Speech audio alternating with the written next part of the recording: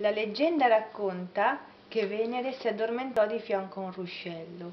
Questo ruscello si ghiacciò e rimasero intrappolati i capelli della dea. In realtà quello che vedete è un quarzo rutilato, però la storia è bellissima perché dà proprio l'idea di questi capelli biondi ramati eh, rimasti intrappolati nella roccia.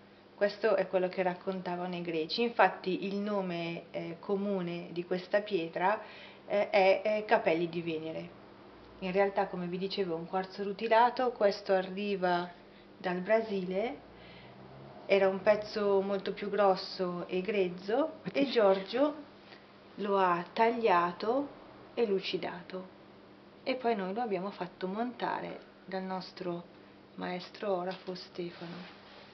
Rischia che la mia mano però gli fa l'ombra.